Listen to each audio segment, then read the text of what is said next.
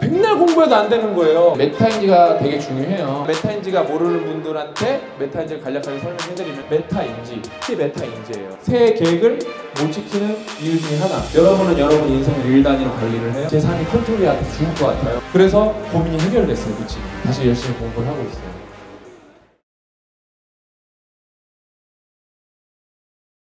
영어를 잘하고 싶으면 뭘 해야 돼요? 단어 암기를 해야 돼요. 그다음 책을 봐야 되고.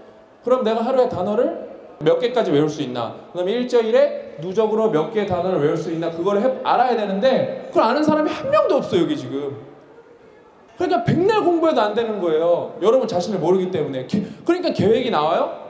망상이 나오는 거예요, 망상. 잡힐 것 같지만 절대 안 잡히는 망상. 그런 거 목표가 아니에요. 내 맨날 말하죠. dream이랑 goal은 다른 거예요. 둘 다 꿈이지만. 예? dream은 잠자면서 꾸는 거. 목표는 여러분이 계획을 가지고 성취해야 되는 거예요.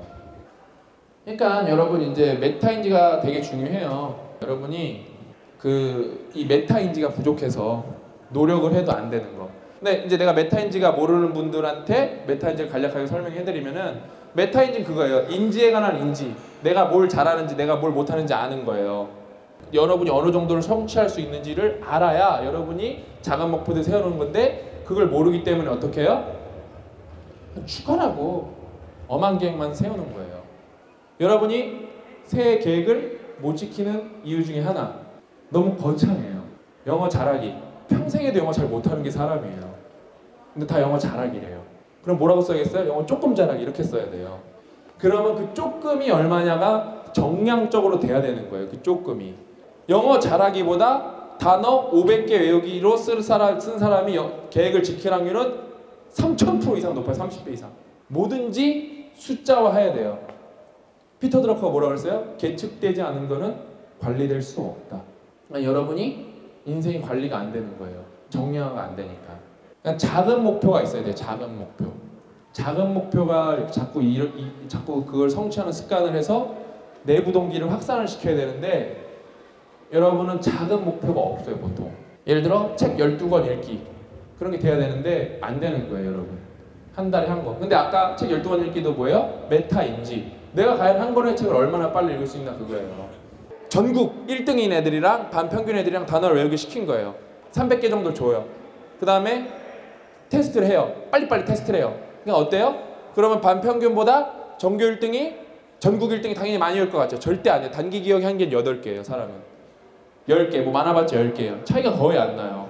근데 차이가 나는 건 뭐예요? 반평균 애들은 내가 이 단어를 외웠는지 안 했는지 몰라요. 맞출 건지 안 맞춰. 정확히 뜻을 아는지 아는지 몰라요. 근데 전국 1등 애들은 내가 못 외운 단어는 정확히 못 외운 걸 알고 외운 거는 정확히 알아요. 내가 외운 거를. 그게 메타 인지예요. 내가 뭘 모르는지 파악이 되기 때문에 계획이 똑바로 서는 거예요. 근데 여러분은 메타 인지가 약하기 때문에 계획이 설 수가 없는 거예요. 그러니까 여러분이 새해 계획을 세웠으면은 그게 몇 시간 걸리는지 1단위 계획이 나와요. 1단위 계획. 여러분은 여러분 인생을 1단위로 관리를 해요? 연 단위로 관리하잖아요. 대충. 아, 내년에는 어떻게 되겠지. 예? 1단위로 관리를 해야 돼요. 1단위. 여기 그 멘토링 프로젝트에 지원한 사람 손 들어봐요. 많죠? 어, 많잖아요? 멘토링 프로젝트 오면 여러분 내가 여러분한테 비법을 알려주는 게 아니에요. 일단은 여러분 뭘 해야 돼요? 시간 단위 관리를 나한테 해서 무조건 보내야 돼요. 이게 여러분 뭐 공부 못하는 사람들이 하는 거 같죠? 전혀 아니에요. 나한테 어느 날 새벽 4시 반에 메시지가 하나 와요. 박사님 잘 지내십니까? 저 제 삶이 컨트롤이 안 돼서 죽을 것 같아요. 저 공부가 너무 안 되고 진짜 미칠 것 같아요. 어떻게 해야 될지 모르겠어요.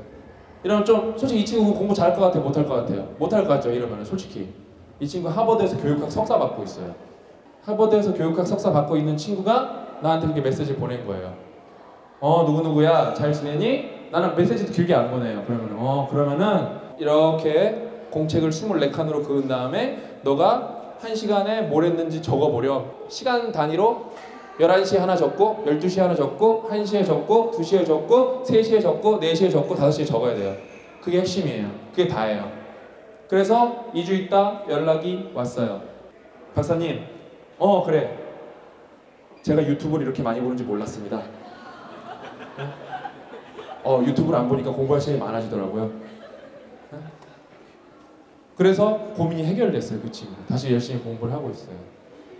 새해 계획을 지키려면은 의지보다 중요한 게 환경 설정이 뭐가 있었으면 좋겠냐면은 용기가 있었으면 좋겠어. 나 여러분 보면은 솔직히 너무 안타까워요. 용기가 너무 없으니까 실패를 두려워하는 거예요. 실패를 두려워하니까 도전을 못하는 도전을 못하니까